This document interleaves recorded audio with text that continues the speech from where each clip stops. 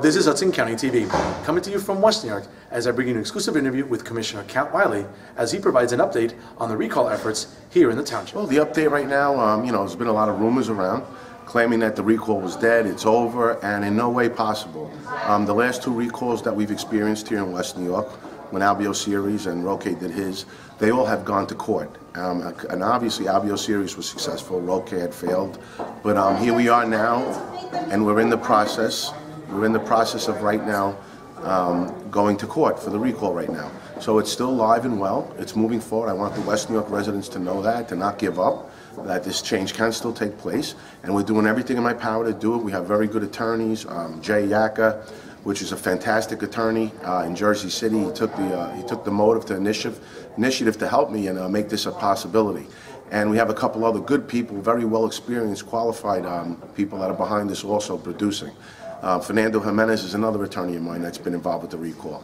And I want to let the public know we're moving forward, and I understand that in January, around the 13th, we'll be making our first arguments with the court.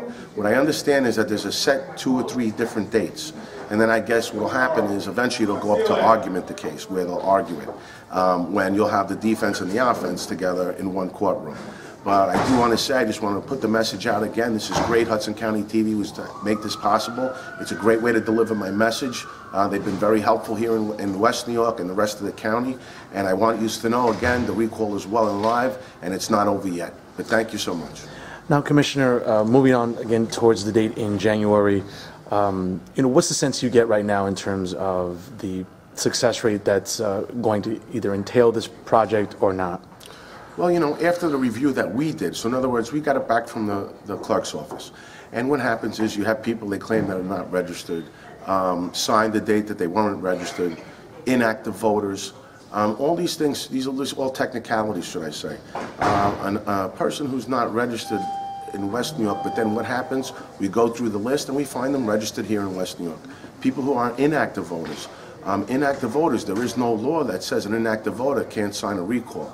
They may not have voted in the last couple elections, but by the law, they're allowed to have their voices heard. So that would make, again, the signature um, be qualified for a good signature. Um, there was other technicalities where the last three pages of the petition weren't filled out, but they were notarized, and the clerk had chose to throw out the whole petition whether the signatures were good, whether they weren't. So that's where I'm trying to say, that's where she threw out 90 or 80 at a time.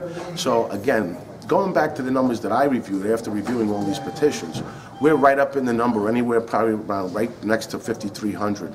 The goal is 5,317. So that's what we're going to court to fight now to approve those signatures by the judge, in which will push up the number of the qualified people that were registered to vote here, and then it might make this recall very successful. And my team has other plans, other initiatives to make this happen. And this isn't the only uh, directive.